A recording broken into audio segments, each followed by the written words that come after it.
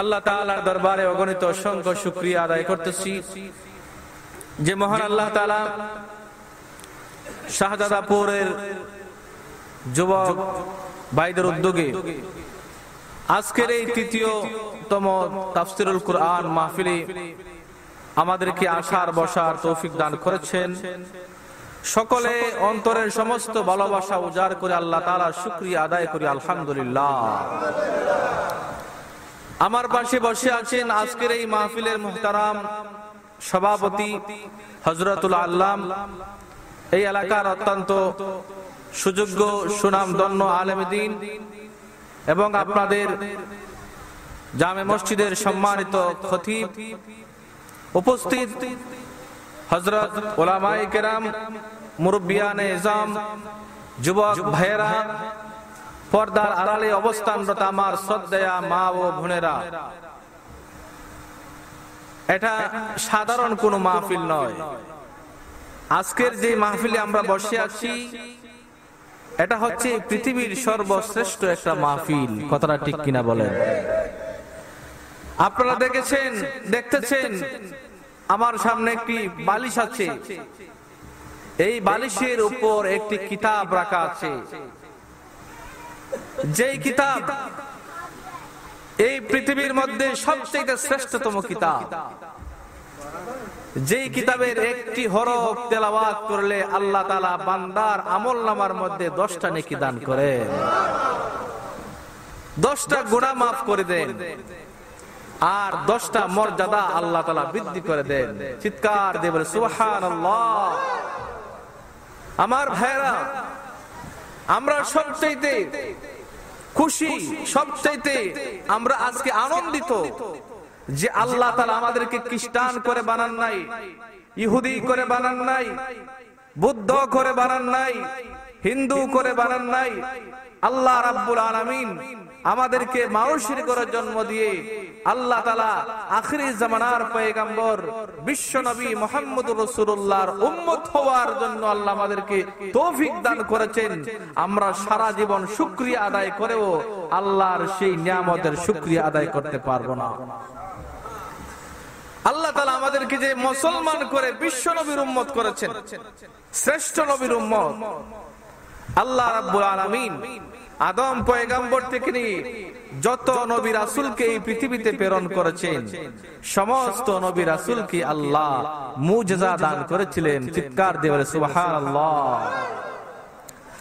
আল্লাহ রাব্বুল আলামিন তার পয়গাম্বর হযরতে দাউদ আলাইহিস সালাতু ওয়াস সালামকে আল্লাহ মুজিজা দান করেছিলেন। আল্লাহ রাব্বুল আলামিন হযরতে দাউদ আলাইহিস সালাতু ওয়াস সালামকে হাতের মধ্যে আল্লাহ এত শক্তি দান করেছিলেন। বিরাট বড় লোহার খাম্বাকে যদি তিনি ধরে চাপ দিতেন, মোমের মতো সেই খাম্বা গলিয়া যাইত। বিরাট বড় একটা লোহার কুঠি এটার মধ্যে ধরে তিনি যদি চাপ দিতেন যেরকম ভাবে মম গলে যায় যেরকম ভাবে আমরা বাতের মধ্যে যখন আমরা বাত খেতে যাই, চাপ দিলে আমাদের দুই আঙ্গুল আমাদের আঙ্গুলের ফাঁক দিয়ে কিন্তু বাত নরম হয়ে বের হয়ে যায়। কথাটা ঠিক কিনা বলেন? এইরকম ভাবে হজরতে দাউদ আলাইহি সালাতামকে আল্লাহ এত শক্তি দান করেছিলেন। তিনি বিরাট বড় লোহার লাঠির মধ্যে খাম্বার মধ্যে ধরে চাপ দিলে মোমের মধ্যে গলিয়া যাইত। এটা ছিল হজরতে দাউদ আলাইহি সালাতামের মৌজেজা। দাউদ আলাইহিসসালাম দুনিয়া থেকে বিদায় গ্রহণ করেছেন। দাউদের সেই মুজিজাও নেই।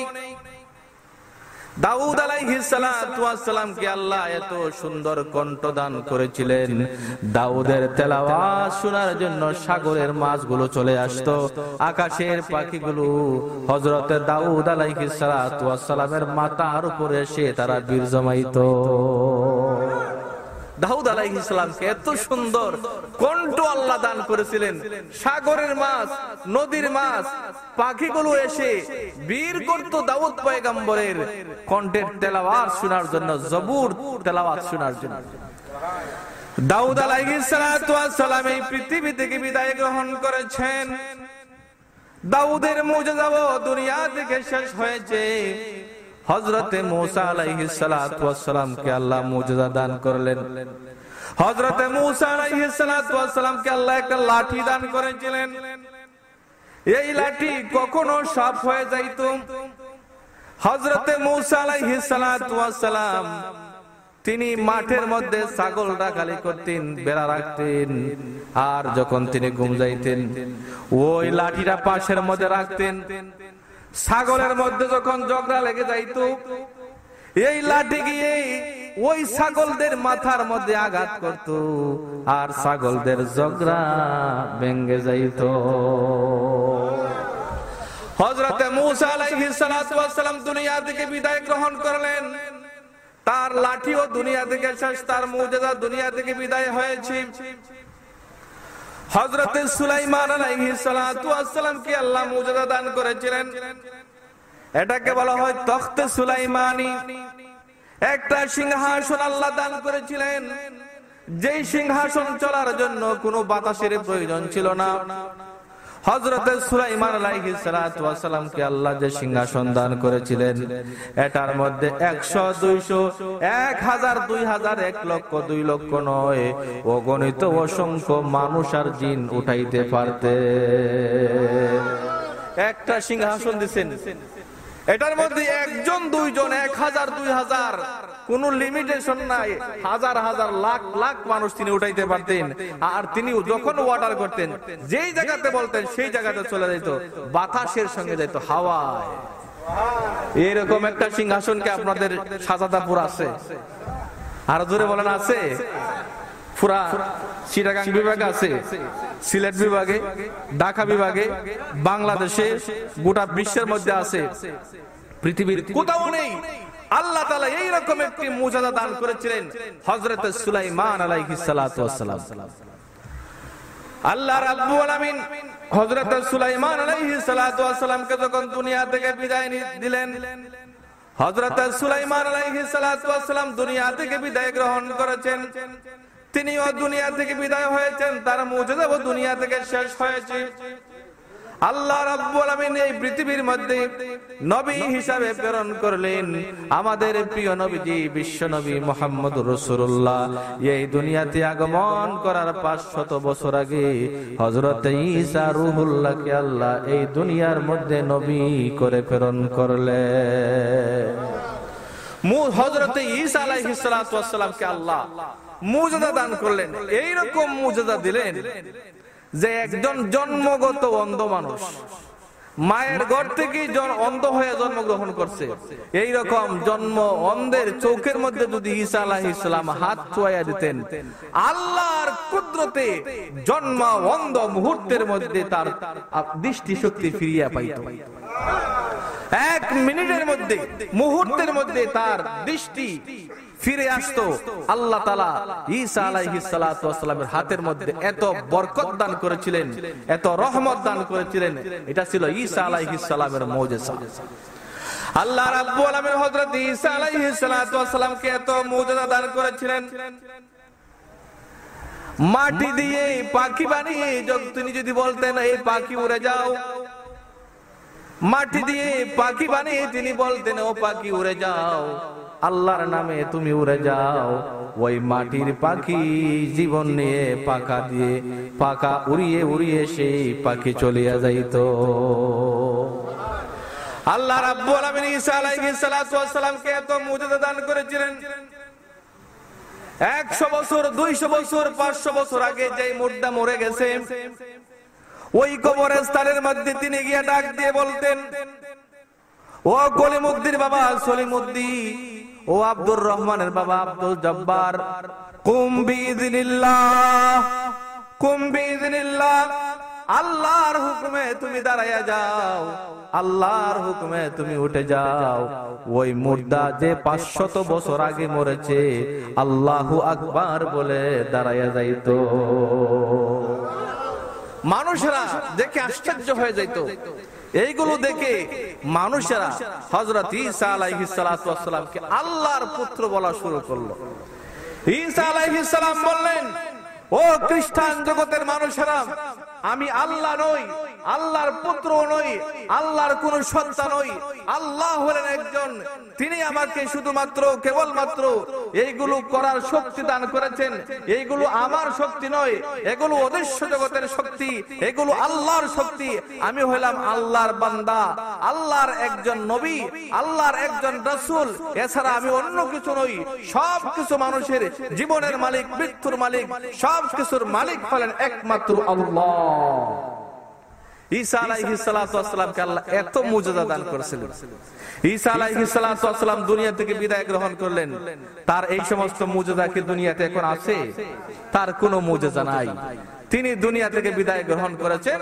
সমস্ত নবী রাসূলকে আল্লাহ মুজিজা দিয়েছিলেন। কেন দিয়েছিলেন? তিনি যে একজন নবী, তিনি যে একজন রাসূল, এই কথা তার উম্মতদেরকে বোঝানোর জন্য আল্লাহ সমস্ত নবী রাসূলকে মুজিজা দান করেছিলেন। আমাদের প্রিয় নবীজিকে আল্লাহ দশ হাজারের বেশি মুজিজা দান করেছিলেন। এর মধ্যে সবচেয়ে শ্রেষ্ঠ মুজিজার নাম হলো কুরআন শরীফ। চিৎকার দিয়ে বলে, সুবহানাল্লাহ।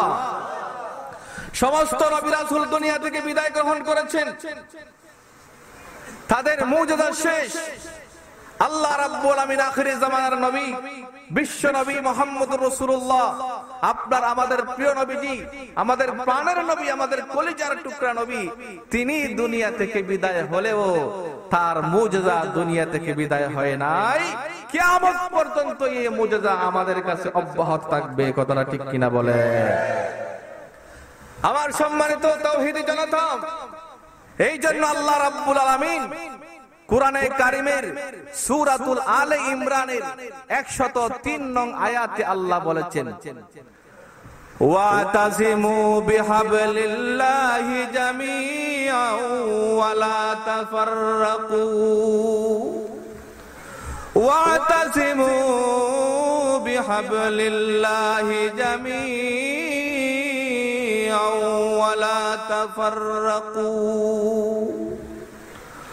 আমার বান্দা বান্দিরাম আমি আল্লাহ যে তোমাদের কাছে, আমি আল্লাহ যে একটি রশি প্রেরণ করেছি।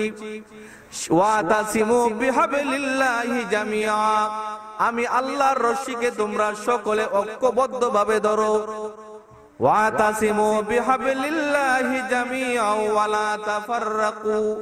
আর তোমরা পরস্পরে বিচ্ছিন্ন হয়ে যাইও না। আমি আল্লাহ যে তোমাদের কাছে রশি প্রেরণ করেছি ঐক্যবদ্ধ ভাবে আমি আল্লাহর রশিটাকে তোমরা আঁকড়াইয়া ধরো। আল্লাহর রশি কি? আল্লাহ বলছেন, আমাদের কাছে একটা রশি প্রেরণ করছেন। এখন আল্লাহকে আকাশ থেকে একটা বিশাল বড় রশি সাজাদাপুর প্রেরণ করবেন? আমরা সবাই এটাকে ধরবো। রশ্মি দিয়ে আল্লাহ কি বুঝাইলেন? আল্লাহ রশ্মি বলতে রসুলে পাক সাল্লাল্লাহু আলাইহি ওয়াসাল্লাম হাদিস শরীফের মধ্যে বলেছেন রশ্মি অর্থ হলো আল্লাহর কুরআন। ওয়াতাসিমু বিহাবলিল্লাহি আল্লাহ যে বলেছেন আমি আল্লাহর হাবলকে তোমরা আঁকড়াইয়া ধরো ভালো করে পাকড়াও করে ধরো সেটা হলো আল্লাহর কুরআন। ও জগৎবাসী মুসলমানরা আল্লাহর কুরআনকে তোমরা সঠিকভাবে আঁকড়াইয়া ধরো। কারণ আল্লাহ কোরআনকে কেন আঁকড়ায় ধরতে বললেন? এটার কারণ হলো, আমরা সবাই ছিলাম জান্নাতে। আমরা এই পৃথিবীতে আসার আগে কোথায় ছিলাম? আমাদের মা বাবা, আমাদের আব্বা, আম্মা, আদি, পিতা আদম, আদি মাতা হাওয়া, তারা কোথায় ছিলেন? জান্নাতে ছিলেন। তারা জান্নাত থেকে দুনিয়াতে আসছেন। কোন মানুষ যদি গর্তের মধ্যে পড়ে নিচ থেকে উপরে উঠতে হলে রশি লাগে। বিল্ডিং এর একতলা থেকে দশ তলাতে যাইতে হলে লিফট লাগে। শহর অঞ্চলে বড় বড় বিল্ডিং করতে গিয়ে বিশাল বড় সেফটি টাঙ্কি করে। এই সেফটি টাঙ্কির মধ্যে অনেক সময় ছেলে মেয়েরা পড়ে যায়। দুষ্টামি করতে গিয়ে, খেলা করতে গিয়ে একজন আরেকজনকে ধাক্কা দিয়ে ফেলে দেয়। তখন নিচে পড়ে যায়। বিশ ফিট, তিরিশ ফিট গভীর নিচে সেফটি ট্যাঙ্কের মধ্যে যখন পড়ে যায়, তখন আরেক ছেলে গিয়ে দূরে বলে, আম্মু আম্মু, এই সলিমুদ্দি ফাড়ি ট্যাঙ্কের মধ্যে পড়ে গেছে। তখন আশেপাশের লোকজন দূরে আসে। আয়সা দেখে ছেলেটা ট্যাঙ্কের মধ্যে পড়ে গেছে। তখন মানুষ কি করে? একটা লম্বা রশি দেয় দিয়ে নিচে ছাড়ে আর উপর থেকে বলে তুমি রশিটার মধ্যে ভালো করে ধরো। বাবা তুমি রশিটা রশিটার মধ্যে ভালো করে পাকড়াও করে ধরো আর উপর থেকে তিন চারজন মিলে টান দেয় ওই যে সেফটি ট্যাঙ্কির ভিতরে ছেলেটা পড়ছে। রশি দিয়া তাকে টেনে টেনে উপরে উঠাইয়া নিয়ে আসে। ঠিক তেমনি ভাবে আমাদের আদি মাতা আর আদি বাবা, আদম এবং হাওয়া তারা ছিলেন জান্নাতে। ভুল করে গন্ধম গাছের ফল খাওয়ার কারণে দুনিয়ার মধ্যে তারা আসতে বাধ্য হয়েছেন। এর অর্থ হলো গর্তের মধ্যে পড়ছেন, টাঙ্কির মধ্যে পড়ছেন। এখন আবার যদি সেই জান্নাতের মধ্যে যাইতে হয়, আল্লাহ বলেন ও আদমের সন্তানেরা, আমি আল্লাহ তোমাদেরকে আবার বেহেস্তের মধ্যে নেবার জন্য এই পৃথিবীর মধ্যে একটা রশি প্রেরণ করেছি। সেই রশির নাম হইল কোরআন। কোরআন তো সেটা রশির মতো। তোমরা সেই কোরআনকে ভালো করে পাকড়াও করে ধরো। ভালো করে ধরো। যদি তোমরা সেই কোরআনকে ভালো করে ধরতে পারো, তাহলে আমি আল্লাহ তোমাদেরকে আবার জান্নাতের মধ্যে নিয়ে যাইব। এখন সেই কোরআনের সেই রশির এক মাথা দুনিয়ার মধ্যে আল্লাহ দিচ্ছেন আর আর এক মাথা আল্লাহর কাছে রাখছেন। এখন এক রশি দিয়ে এক মাথা যদি নিচে ফেলা হয়, আর উপরে যদি কেউ টানার মতো লোক না থাকে, তাহলে উপরে উঠাইব কে? এই জন্য আল্লাহ রাব্বুল বলেন, ও জগৎবাসী, আমি আল্লাহ তোমাদের কাছে যে রশি প্রেরণ করেছি, যে কিতাব প্রেরণ করেছি, কোরআন প্রেরণ করেছি, তোমরা যদি সেই কোরআনকে সঠিকভাবে আঁকড়াইয়া ধরতে পারো, তাহলে আমি আল্লাহ তোমাদেরকে আবার সেই জান্নাতের মধ্যে আমি নিজ দায়িত্বে তোমাদেরকে পৌঁছায় দিতে পারব। আমার ভাইয়েরা এই জন্য আল্লাহ রাব্বুল আলামিন বলেন ওয়াতাসিমু বিহাবলিল্লাহি জামিআ ওয়া লা তাফাররাকু। আমি আল্লাহ তোমাদের কাছে যে রশি প্রেরণ করেছি, আল্লাহর রজ্জুকে, আল্লাহর রশিকে ভালো করে তোমরা পাকড়ায় ধরো সংঘবদ্ধ ভাবে ঐক্যবদ্ধ ভাবে তোমরা পাকড়ায় ধরো। ওয়ালা তাফাররাকু, আর তোমরা পরস্পরে বিচ্ছিন্ন হয়ে যাইও না। কারণ হচ্ছে, মুসলমানদের মধ্যে ঐক্যবদ্ধ লাগবে আল্লাহ রাব্বুল আলামিন এই আয়াতের মধ্যে দুইটা জিনিসের কথা উল্লেখ করেছেন, এই অংশের মধ্যে। এক নম্বর হলো আল্লাহর রশিকে ধরতে হবে। দ্বিতীয় নম্বর আল্লাহ বলছেন, জামিয়া ঐক্যবদ্ধ ভাবে ধরো। আল্লাহর রশিকে ঐক্যবদ্ধ ভাবে কিসের জন্য ধরতে হবে? কারণ মুসলমানদের মধ্যে যদি ঐক্যবদ্ধ না থাকে মুসলমানদের মধ্যে যদি ঐক্য না থাকে, তাহলে মুসলমানদের দুশ্মন যারা রয়েছে, বেঈমান, কাফির, তারা মুসলমানদেরকে শেষ করতে তাদের জন্য সুবিধা হবে। কতটা ঠিক কিনা বলেন? আমরা ছোট কালে বইয়ের মধ্যে পড়ছিলাম যে এক বৃদ্ধ লোকের পাঁচটা ছেলে ছিল। তার যখন ইন্তেকাল করার সময় আসছে তার পাঁচটা ছেলেকে বলল, বাবা, তোমরা পাঁচজনে পাঁচটা লাঠি নিয়ে আসো। ছেলে পাঁচজন, পাঁচটা লাঠি নিয়ে আসছে। এখন বাবা বড় ছেলেকে বললেন, তোমার দিয়ে আরও চারজন ভাই আছে, তাদের সকলের লাঠি এক কানে করো। এখন পাঁচ ভাইয়ের লাঠি একত্রে করা হয়েছে। একত্রিত করার পরে বড় ছেলেকে বললেন, তুমি এই পাঁচটি লাঠি ভেঙে পেল বড় ছেলে একসঙ্গে অনেক চেষ্টা করছে, পাঁচটা লাঠি ভাঙাতে তো সহজ না। পাঁচটা লাঠি তিনটি ভাঙতে পারেন নাই। এইরকম বৃদ্ধ বাবা তার পাঁচটা ছেলেকেই দিলেন আর বললেন, পাঁচটা লাঠিকে একসঙ্গে ভাঙ্গো কেউ পারে নাই। অবশেষে বাবা বললেন, তোমরা প্রত্যেকে একটা একটা করে লাঠি নাও। এখন ভেঙ্গে পেল তারা মুহূর্তের মধ্যে পাঁচজন, পাঁচটা লাঠি ভেঙ্গে পড়ছে বাবা বললেন, তোমরা কি বুঝতে পারছ? তোমরা প্রথমে যখন চেষ্টা করেছ, পাঁচটা লাঠিকে একসঙ্গে ভাঙ্গার জন্য তোমরা পারো নাই।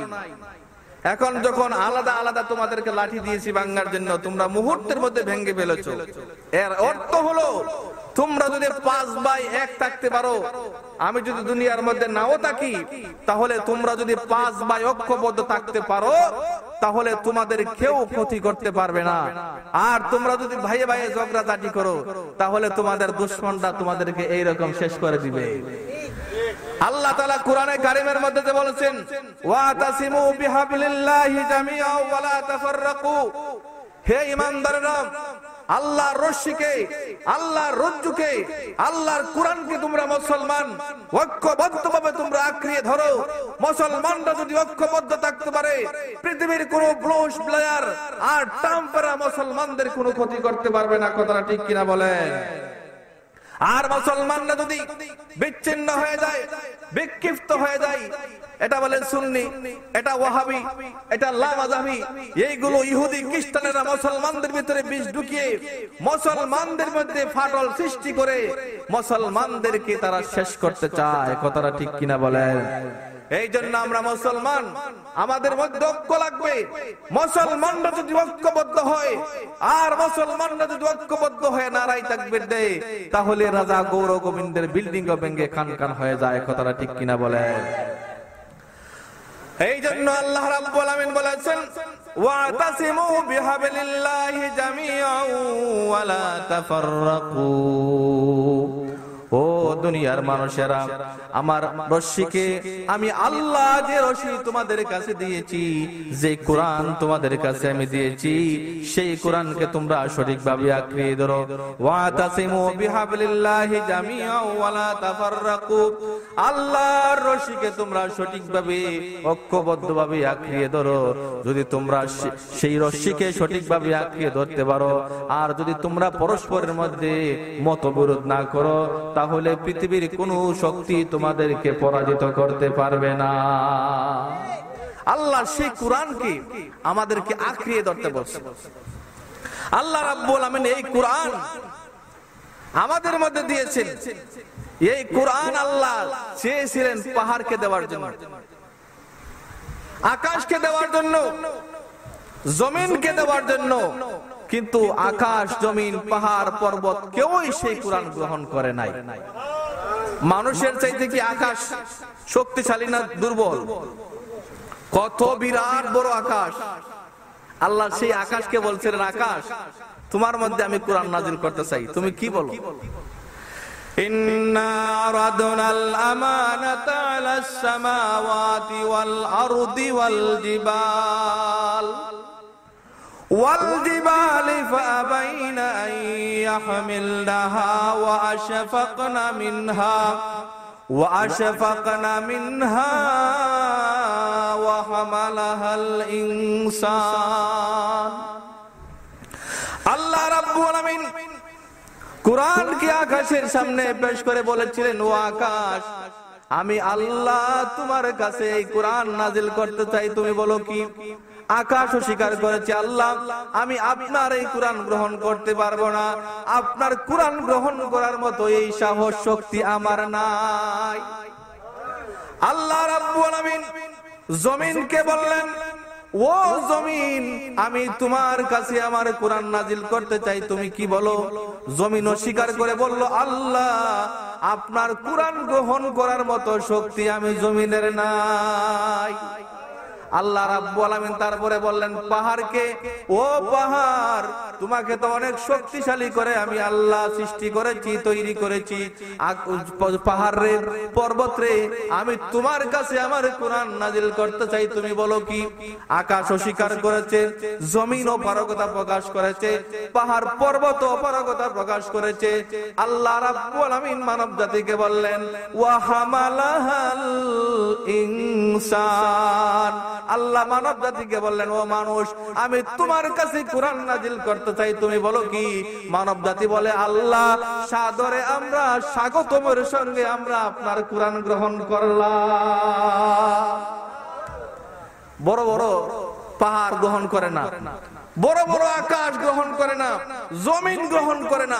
দুর্বল মানুষ গ্রহণ করে। আল্লাহ বলেন, এরা আসলে বোকা। ওরা জাহেল। কারণ বাবা শাবাসপুর বাজার থেকে আপনাদের সাজাদাপুরের এক লোক বাজার করতে গেছেন শাবাসপুর এখন বাজার করতে করতে বিবি সাহেব এইরকম অর্ডার দিয়েছে লিস্টি দিয়েছে, বাজার করতে করতে বিশ কেজি ওজন হয়ে গেছে ব্যাগ। এখন চাচার বয়স সত্তর বছর। এখন সত্তর বয়সের বুড়া মানুষের একটা বিশ কেজি ওজনের ব্যাগ নেওয়া তো অনেক কষ্ট। তিনি রাস্তা দাঁড়াই আছেন হঠাৎ করে দেখলেন ওনার বড় ছেলে সেন্টু মিয়া যাইতেছে। তারা ডাক দিলেন এই সেন্টু বাবা এদিকে তোমার মা তো বলছিল বাজার সদাই করতে। বাজার করতে। করতে বাবা বিশ কেজি ওজন হয়ে গেছে। আমি বুড়া মানুষ। আমি তো বেশি দিন নিতে পারতাছি না। বাবা ব্যাগটা বাড়িতে বসে দিয়ে তোমার মার কাছে। সেন্টু বলতেছে আমি এখন পারব না। আমার এখন ক্রিকেট খেলার সময় আমি ক্রিকেট খেলাতে যাব আমার ম্যাচ আছে। হ্যাঁ ক্রিকেট খেলা চলে গেছে। বাবা দাঁড়াই আছে। তার দ্বিতীয় আরেকটা ছেলে আসছে। এ বাবা বল্টু। তোমার মা তো অর্ডার দিছিল। বাজার সদাই করতে বাজার করতে করতে বাবা এখন বিশ কেজি ওজন হয়ে গেছে আমি তো বুড়া মানুষ। বিশ কেজি তো আমি নিতে পারব না। তুমি বাবা ব্যাগটা বাড়িতে বসে দিয়ে আসো। সে বলে না না আমি এখন পারব না। আমার এখন ফুটবল খেলার সময়। আমি এখন খেলতে যাইব। বড় ছেলে, ও চলে গেছে মাইজা ছেলে, ও চলে গেছে। এখন বুড়া মানুষ, তিনি কি করবে? একটা রিক্সা নিয়ে কোনো মতে বাড়িতে আসছে। বাড়ি ঘাটাতে যখন আসছে, বুড়া খালের ওনার একটা ছেলে আসছিল সাড়ে চার বছর বয়স। হে যখন দেখছে, বাবা, বাজার থেকে বিশাল বড় ব্যাগ নিয়ে এসে, সে দূরে গেছে, গিয়ে ব্যাগটাতে ধরছে। আব্বু আব্বু, এই ব্যাগটা আমার মাথায় উঠাই দাও, আমি নিয়ে যাব আম্মুর কাছে। আপনারা বলেন বিশ কেজি ওজনের ব্যাগ সাড়ে চার বছরের ছেলে পারবে? উঠাইতে তো পারবে না। এখন সে বলতেছে হ্যাঁ হ্যাঁ আব্বু আমাকে এটা উঠাই দাও আমি আম্মুর কাছে নিয়ে যাইবো। ছোট ছেলেরা যখন কিছু চায় তারা না দিলে কি আর জান বাঁচে? সে তো হ্যাঁ হ্যাঁ করতে থাকবে। এখন বুড়া মানুষ তিনি রিক্সা বিদায় করে দিচ্ছেন এখন ছেলের কান্নার কারণে তিনি বলেন ঠিক আছে বাবা তোমার মাথায় উড়াই দিতেছি। এখন ব্যাগটারে উঠাইয়া তিনি ছেলের মাথায় দিচ্ছেন কিন্তু ওজন হাতের মধ্যে। এখন নিয়ে যাইতেছেন। দরজার সামনে গিয়ে ডাকতেছে, ও মোহাম্মদের মা দেখছ নি আমাদের ছোট্ট বাবু কিন্তু আজকে বিশ কেজি বাজারের ব্যাগ নিয়ে আসছে। ঘর থেকে মা বের হইয়া ছেলেকে খুলে নিয়েছেন আদর চুমা দিচ্ছে আমাদের কত লক্ষ্মী, কত ভালো। বাজারে ব্যাগ মাথায় করে নিয়ে আসছে। আসলে এই যে বিশ কেজি ওজনের ব্যাগটা ছোট্ট ছেলের মাথায় বৃদ্ধ বাবা দিচ্ছেন ওজনটা লোডটা কার হাতে ছিল? বাপের হাতে কারণ বিশ কেজি ওজনের লোড নেওয়ার মতো শক্তি এই ছেলের নাই। আল্লাহ রাব্বুল আমিন যেই 30 পারা কোরআন মানুষের কাছে নাজিল করছেন এই 30 পারা কোরআনের লোড সহ্য করার মতো মানুষের নাই। মানুষ জমিনের মধ্যে দেবে যাওয়ার কথা ছিল জমিনের মধ্যে দাবিয়া যাওয়ার কথা ছিল আল্লাহ যদিও মানুষের কাছে এই কোরআন নাজিল করেছেন কিন্তু এই কোরআনের লোড ওজন আল্লাহ কুদরতি হাতের মধ্যে রেখে দিয়েছে إنا عرضنا الأمانة على السماوات والأرض والجبال والجبال فأبين أن يحملنها وأشفقن منها وحملها الإنسان إنه كان ظلوما جهولا আল্লাহ বলেন এই কোরআনকে আমি আকাশের মধ্যে নাজিল করতে চেয়েছিলাম। আকাশ সেই কোরআন গ্রহণ করতে অপারগতা প্রকাশ করেছে। বলেছে, আল্লাহ আপনার কোরআনের লোড নেওয়ার মতো আমি আকাশের শক্তি নাই জমিন অস্বীকার করেছে। আল্লাহ এই কোরআন, এই মহান কোরআন গ্রহণ করার মতো শক্তি আমার নাই পাহাড় অস্বীকার করেছে। আল্লাহ বলেন, আমার দুর্বল বান্দা মানুষেরা গ্রহণ করেছে, মানুষেরা দুর্বল। আল্লাহ কোরআনে কারিমের মধ্যে বলেছেন, খলিকাল ইনসানু দাইফা আল্লাহ বলেন মানব জাতিকে আমি দুর্বল করে সৃষ্টি করেছি সেই মানব জাতি যেহেতু আল্লাহর কোরআন গ্রহণ করেছে, আল্লাহ বলেন, ও আমার বান্দা, বান্দিরা, যদিও আমি আল্লাহ তোমাদের কাছে কোরআন নাজিল করেছি, এই কোরআনের লোড কিন্তু আমি আল্লাহ আমার কুদরতি হাতের মধ্যে রেখে দিয়েছি। আমার ভাইরা এই জন্য এই কোরআন মহান কোরআন, এটা আল্লাহর কালাম। এটা আল্লাহ পাকের কথা। পৃথিবীর কোন রাজা বাদশার কথা নয়, পৃথিবীর কোন কবির কথা নয়, পৃথিবীর কোন সাহিত্যিকের কথা নয়, পৃথিবীর কোন সাংবাদিকের কথা নয়, পৃথিবীর কোন কবির কবিতা নয়। এটা হলো স্বয়ং আল্লাহ পাকের কালাম, আল্লাহ তালার কালাম। এই কালাম আল্লাহ তালা তিরিশ পরা কোরআন আল্লাহ নিজে তেলাওয়াত করেছেন। হজরতে জিব্রাহিম আলাইহিস সালাম শুনেছেন হজরতে জিব্রাহিম আলাইহিস সালাম তেলাওয়াত করেছেন। আখিরি জামানার পয়গম্বর বিশ্ব নবী মোহাম্মদুর রসুল্লাহ স্বয়ং শুনেছে। আমার ভাইরা বিশ্ব নবী মোহাম্মদুর রসুল্লাহর কাছে যখন কোরআন নাজিল হয়েছে, বিশ্বনবী মোহাম্মদ রসুল্লাহর কাছে প্রত্যেক রমজান শরীফের মাসে হজরতে জিব্রাহিম আলাইহিসসালাম আগমন করতেন। জিব্রাইল এসে এক কথম বিশ্বনবী মোহাম্মদ রসুল্লাহকে কোরআন শুনাইতেন আর বিশ্বনবী মোহাম্মদ রসুল্লাহ ও জিব্রাইলকে এক কথম কোরআন শুনাইতেন। রসুলের জীবনে যেই রমজান ছিল শেষ রমজান, সেই রমজানে আল্লাহর হাবিবকে দুই খতম কোরআন শুনাইছেন হজরত জিব্রাইল, আর জিব্রাইল দুই খতম কোরআন শুনাইছেন। বিশ্ব নবীও দুই খতম কোরআন শুনাইছেন জিব্রাইলকে।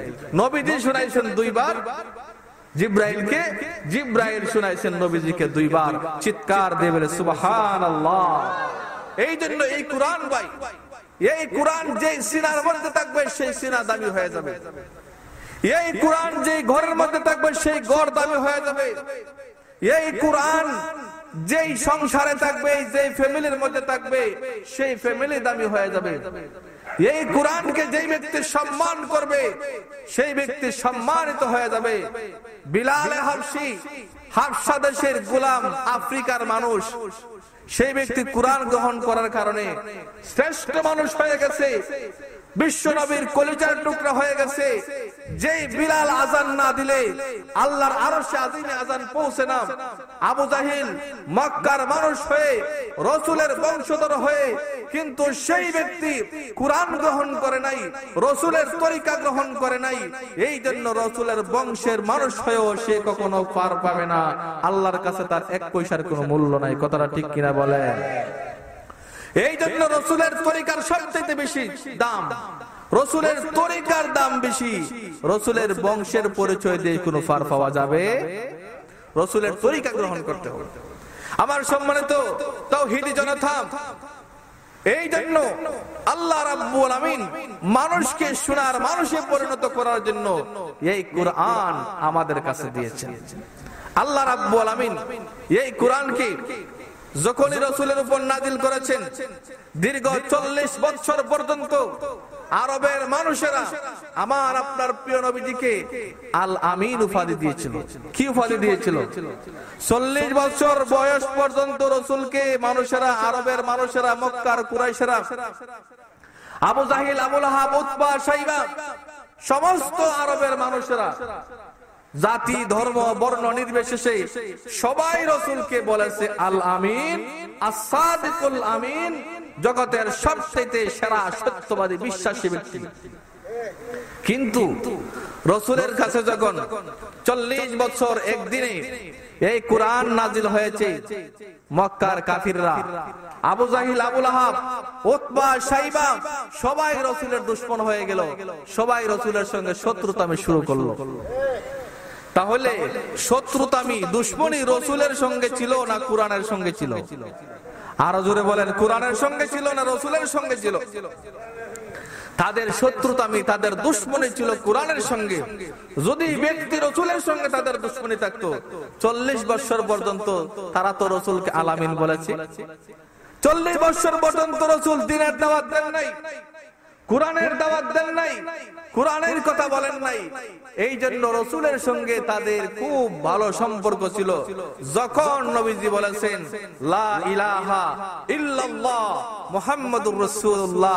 আল্লাহ ছাড়া কোনো মাবুদ নাই।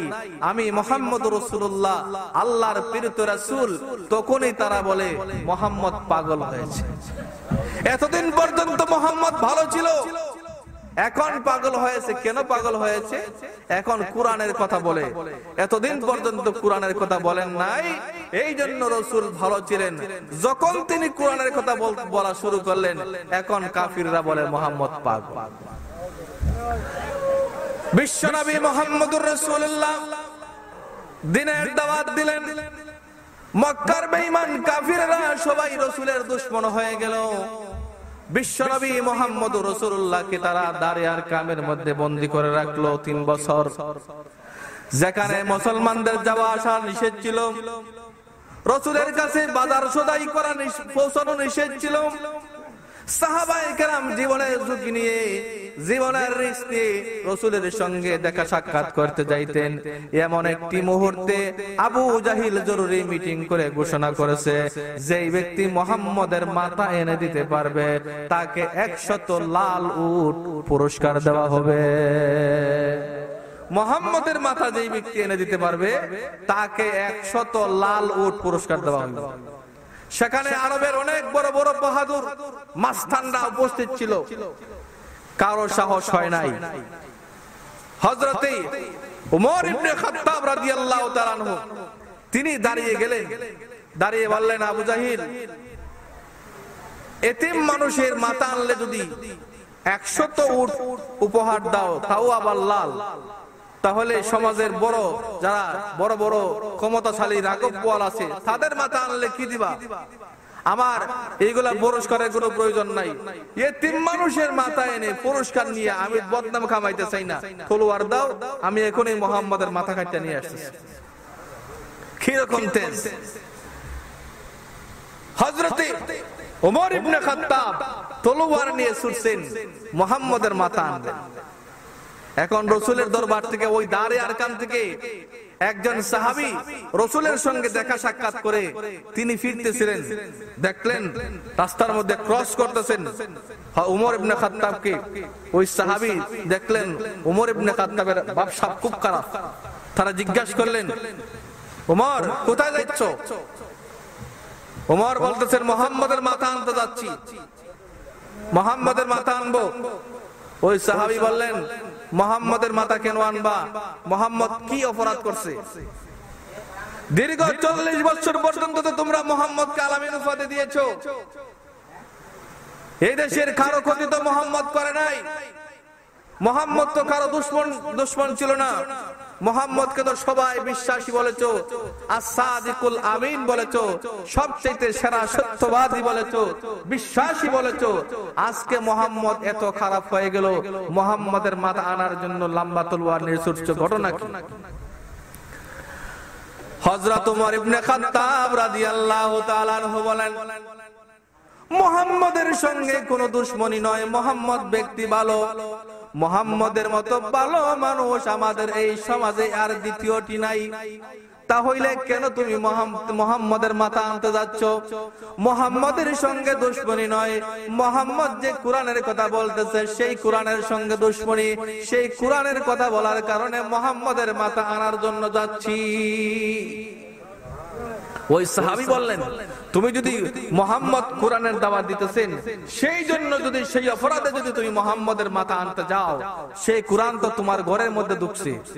তোমার ভুল আর বুগনিবতী তারা মুসলমান হয়েছে, তারা কোরআন পড়ে, তাদের ঘরে কোরআন আছে। তাহলে তুমি নিজের ঘরের খবরটা নিয়ে নাও। উমর ইবনে খাত্তাব বলতেছেন, এটা অসম্ভব।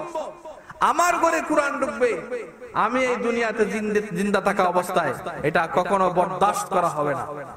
রাম্বা তলোয়ার নিয়ে, রাঙ্গা তলোয়ার নিয়ে উমর ইবনে খাত্তাব রাগী মানুষ সুরসেন বোনের বাড়িতে। বোনের নাম ছিল উম্মে জামিল আর ওনার ডাক নাম হলো ফাতেমা। তিনি ঘরের কাছে গিয়ে শুনতেছেন, ঘরের ভিতর থেকে আওয়াজ আসতেছে, কোরআনের আওয়াজ। কোরআন শিক্ষা চলতেছে, কোরআনের তেলাওয়াত হচ্ছে। একজন ওস্তাদ একজন সাহাবি, ওমরের বোন আর বগ্নিপতিকে কোরআন শরীফের তেলাওয়াত শিক্ষা দিচ্ছিলেন। ওমর গিয়ে দরজার মধ্যে নক করলেন। ভিতরে কে? দরজা করল ওমরের আওয়াজ শুনেই ফাতেমা আর ফাতেমার স্বামী সবার গলা শুকায় গেছে। সবাইকে, উস্তাদকে বললেন আর স্বামীকে বললেন, আপনারা পিছনে যান। আমি দরজা খুলি। ভাই যদি মারে, তাহলে সর্বপ্রথম মাইটটা আমি খাব। উম্মে জামিল ফাতেমা দরজা খুলে দিলেন। হযরত ওমর ইবনে খাত্তাব রাদিয়াল্লাহু তাআলা ঘরে ঢুকেই তাকে বললেন, তোমরা কি পড়তেছিলে এতক্ষণ? উম্মে জামিল ফাতেমা বললেন, আমার স্বামীর ঘরে আমি কি পড়তেছিলাম? সেটা তোমার জানার কি বিষয়? ওমর বলতেছেন, বোন, আমি কিন্তু সব বাহির থেকে শুনছি। ভাই, যখন শুনেছেন তাহলে আর জিজ্ঞাসা করতেছেন কেন?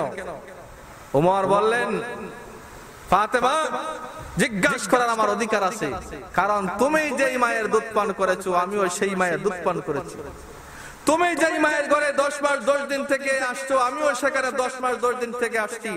সুতরাং তুমি যদি মুসলমান হয়েই থাকো, আমার সঙ্গে তুমি পরামর্শ করবা, আমার সঙ্গে পরামর্শ করে তুমি মুসলমান হইবা। তা না করে তুমি কেন মুসলমান হয়েছো? শুরু করছেন মায়ের। মারতে মারতে একদম রক্তাক্ত, তলোয়ারের ফিট দিয়ে আঘাত করে রক্তাক্ত করে ফেলছে। হঠাৎ করে ফাতেমা উমরের চৌকের দিকে তাকালেন।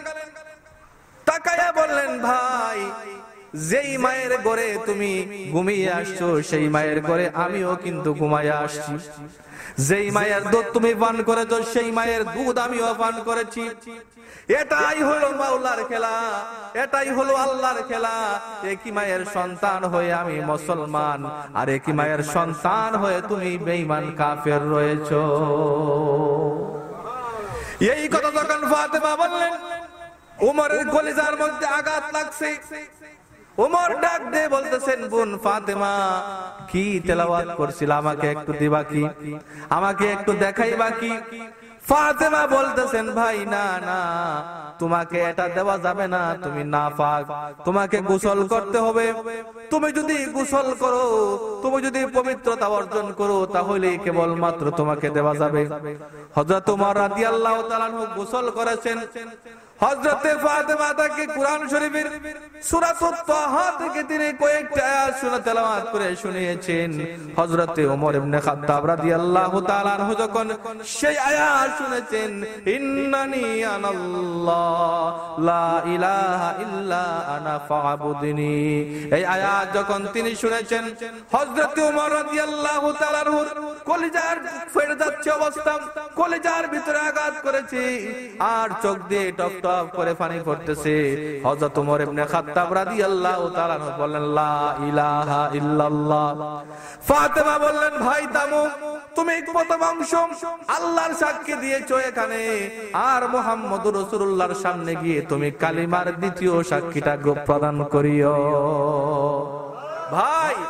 তুমি এখানে কালিমার প্রথম অংশ আল্লাহ ছাড়া কোনো মাবুদ নাই। এই আয়াতের সাক্ষী তুমি দিয়েছ মুহাম্মদুর রাসূলুল্লাহ। এই বংশের সাক্ষী গিয়ে রাসূলের দরবারে তুমি দিবা। চলো আমার সঙ্গে, আমি তোমাকে রাসূলের দরবার নিয়ে যাব। ওমর ইবনে খাত্তাব রাদিয়াল্লাহু তাআলা আনহুকে ফাতেমা রাদিয়াল্লাহু তাআলা আনহা। তাকে নিয়ে চললেন। দারে আর কামের মধ্যে ওমর ইবনে খাত্তাব বিরাট বড় পলুয়ান মানুষ ছিলেন। যাচ্ছে যেমন একটা পলুয়ান যাচ্ছে। ঠপ ঠপ করে গুড়ার মতো তার আওয়াজ পায়। বাহাদুর, বীর পুরুষ।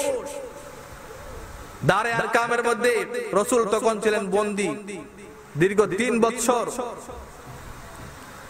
উমর রাদিয়াল্লাহু তাআলার পায়ের আওয়াজ শুনে তখন রসুলের পাহারাদার ছিলেন হযরত আমির হামজা, রসুলের চাচা।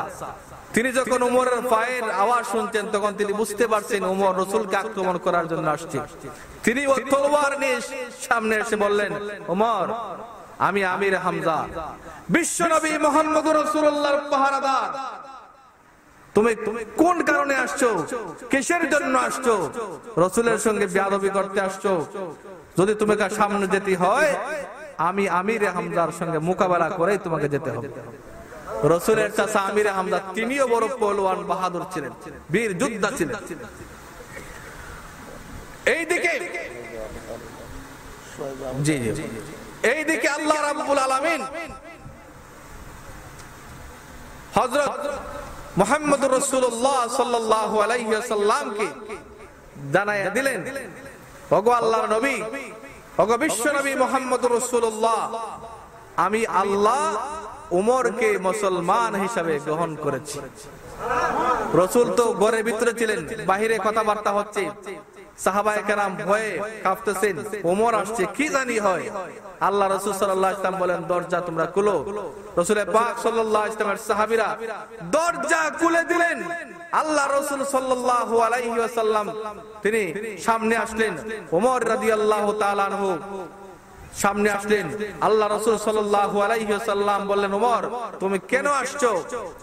উমর রাদিয়াল্লাহু তাআলা বলেন ওগো আল্লাহর নবীজি আমি আসছিলাম আপনার মাথা নেওয়ার জন্য। এখন আমি এসেছি আপনার খেদমতে আমার মাথাটা দেওয়ার জন্য। আল্লাহর নবী বললেন ওমর তাহলে তুমি মুসলমান হবে।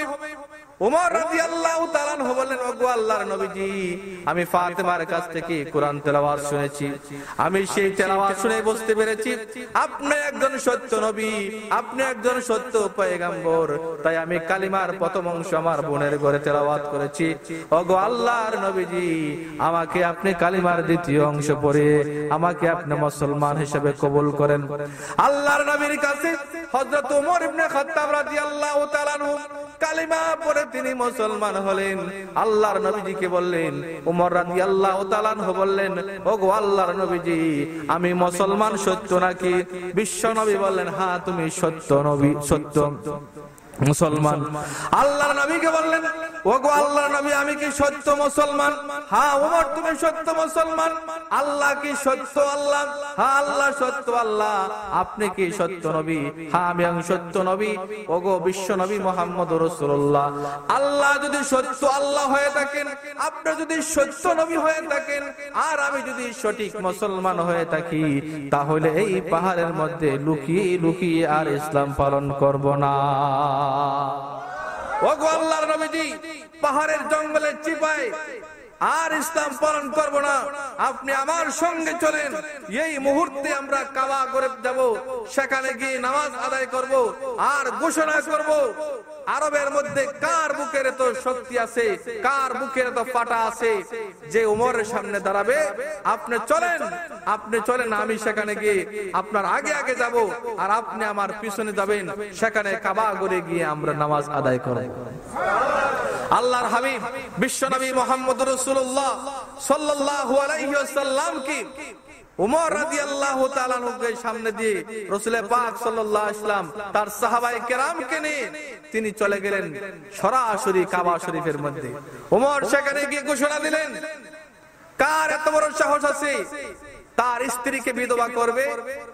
কার সাহস আছে? তার সন্তানকে এতিম করবে। যদি কেউ থাকো এরকম বীর পুরুষ, তাহলে আমি উমর কিন্তু আজকে থেকে মুসলমান হয়ে গেছি। যদি তোমরা তোমাদের মায়ের বুক খালি করতে চাও, সন্তানকে এতিম করতে চাও, তোমাদের স্ত্রীকে বিধবা বানাইতে চাও, তাহলে আমরা আসছি মোহাম্মদের পথে এসে বাধা দাও। আবু জাহিল বলল, খাইছে এতদিন পর্যন্ত তো উমর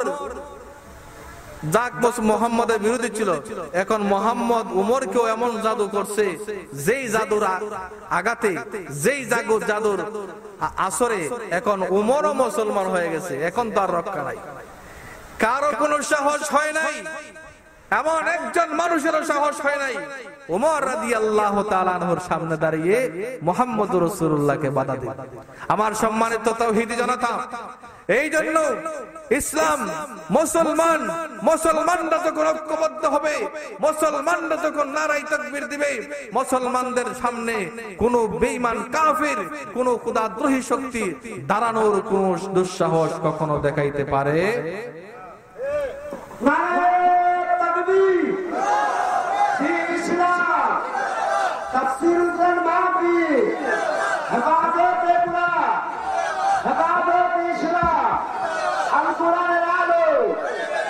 ইসলাম শত্রুরা